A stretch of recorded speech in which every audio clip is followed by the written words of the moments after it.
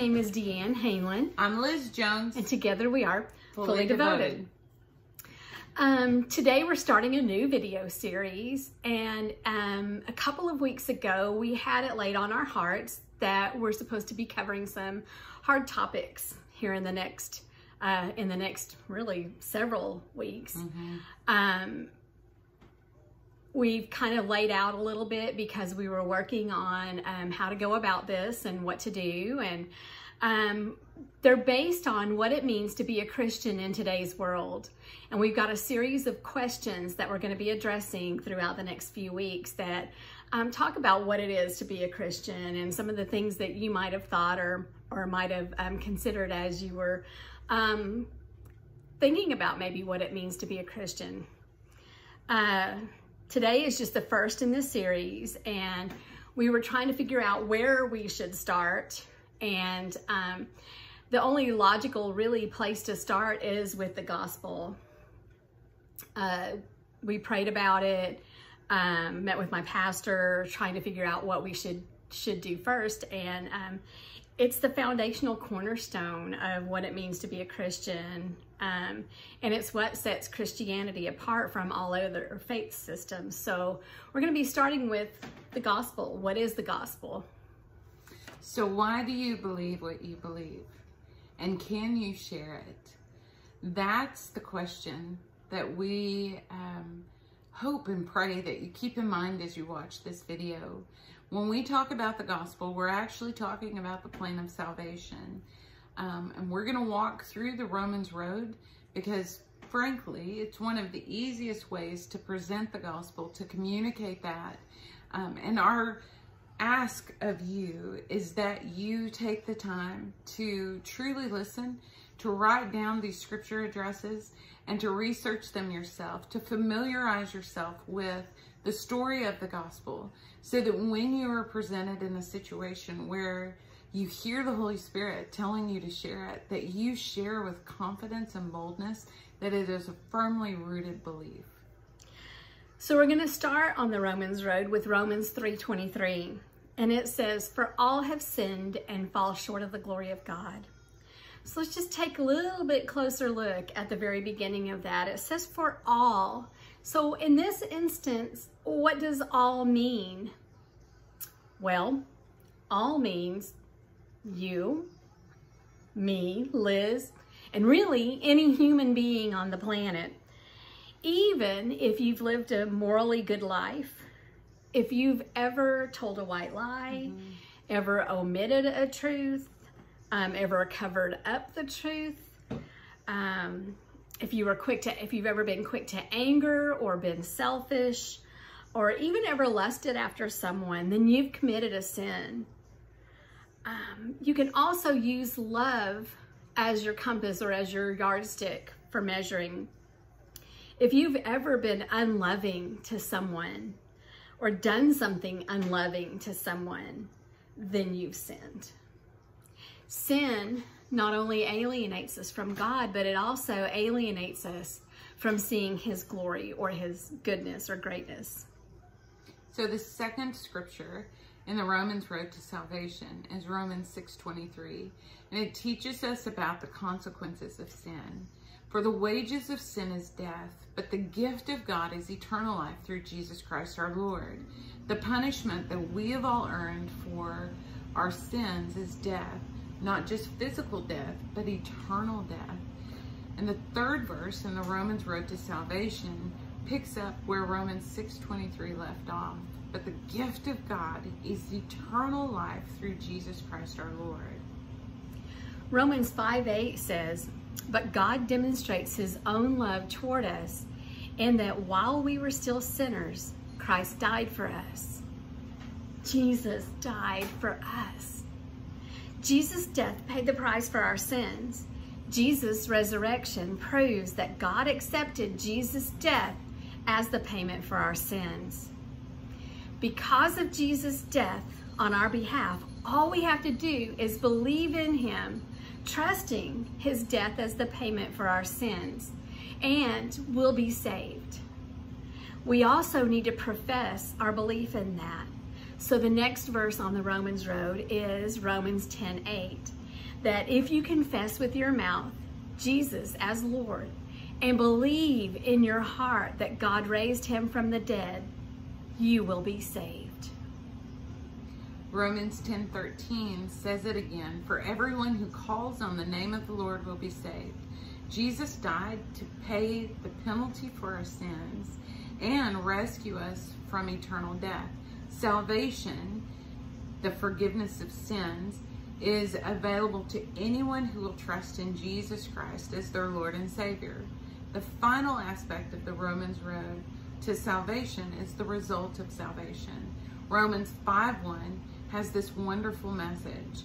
Therefore, since we have been justified through faith, we have peace with God through the Lord Jesus Christ.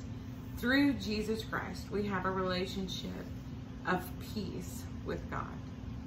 Romans 8:1 teaches us, "Therefore there is now no condemnation for those who are in Christ Jesus." Because of Jesus' death on our behalf, we will never be condemned for our sins. Hallelujah for that, sister. Um, finally, we have this precious promise of God from Romans 8:38 and 39. For I am convinced that neither death nor life, neither angels nor demons, neither the present nor the future, nor any powers, neither height nor depth, nor anything else in all creation will be able to separate us from the love of God that is in Christ Jesus our Lord. So, would you like to follow the Romans road to salvation? If so, here's a simple prayer that you can pray to God. Saying this prayer is a way for you to declare to God that you're relying on Jesus Christ for your salvation. The words themselves will not save you. Only faith in Jesus can provide salvation. So the prayer is God, I know that I have sinned against you and I am deserving of punishment. But Jesus Christ took the punishment that I deserve so that through faith in him, I could be forgiven. With your help, I place my trust in you for salvation. Thank you for your wonderful grace and forgiveness and the gift of eternal life. Amen. I remember the first time that I um, prayed with someone to receive salvation. I was terrified. What if I say the wrong thing? What if I say, repeat after me, and miss something that's important, that's a key to salvation? Um, what if I mess this whole thing up? And this is what the Lord spoke to my heart, and something that I really want you as a believer to hear. You cannot mess up the prayer of salvation that you are praying with someone else or even for yourself. The prayer itself, the words matter, but what matters most is your heart and the heart of the person that you are leading. If the Holy Spirit has already gone before you and softened that heart of stone and plowed up the field for the seeds to be planted, there is no way that you or I could mess up leading someone to Jesus because that would mean that their salvation is dependent on me or dependent on the words that we say. And it is a heart thing. Salvation is a yielding, a surrendering, a giving of our hearts to the Lord. And it's literally just saying, God, I can't do this on my own anymore. I can't live this life by myself. I need you. That simple declaration and prayer is enough. Um, I think the other piece to this is telling someone. Um, we've already talked about professing your um, salvation. It's so important to do that. And so Deanna and I are asking you as our viewer, if you prayed this prayer or you are not sure if you're saved and you are questioning or wondering like, is this real? Did I really do it? Today is the day to yield yourself to the Lord, to submit to Him, to pray. We don't like the word submit at all, but it's yielding. It's giving yourself over, saying, God, I can't do it.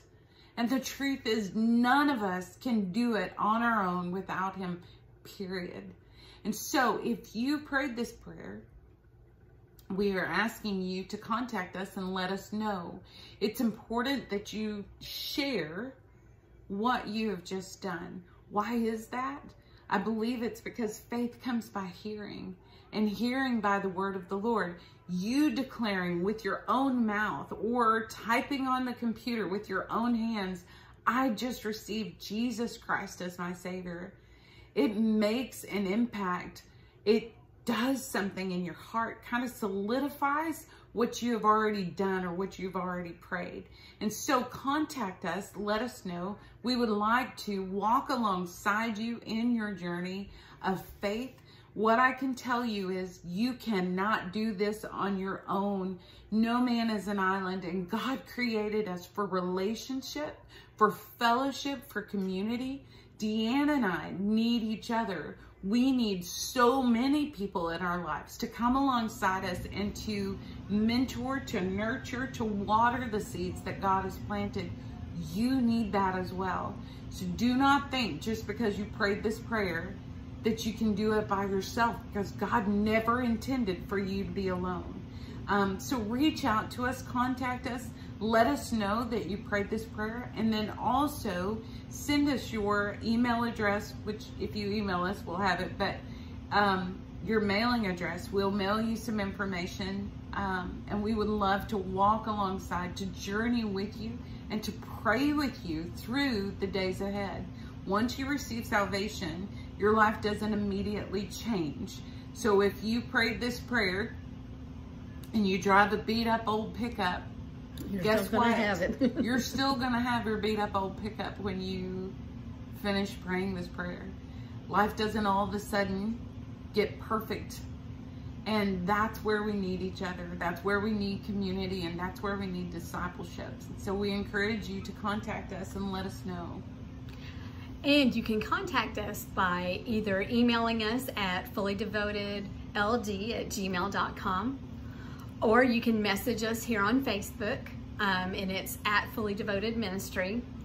Or you can uh, message us through our website, which is fullydevoted.net.